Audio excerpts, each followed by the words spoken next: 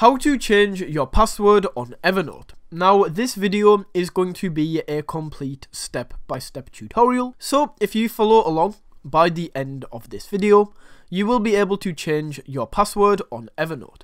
Okay, so to do this, you first of all want to load up Evernote right here. And once Evernote has loaded up, all you need to do is click on settings in this top left corner. That is going to take you over to this area right here. So all we need to do is click on personal info on this left hand side. From the personal info section, just click on go to your profile and that is going to take you over to this screen. From here, just click on change email address then what we can do is just go to the password, click on change password, and right here you can see this is the screen we use to change the password. So all you need to do is enter in your current password, choose a new password, and then confirm this. And that is how you can change your password on Evernote.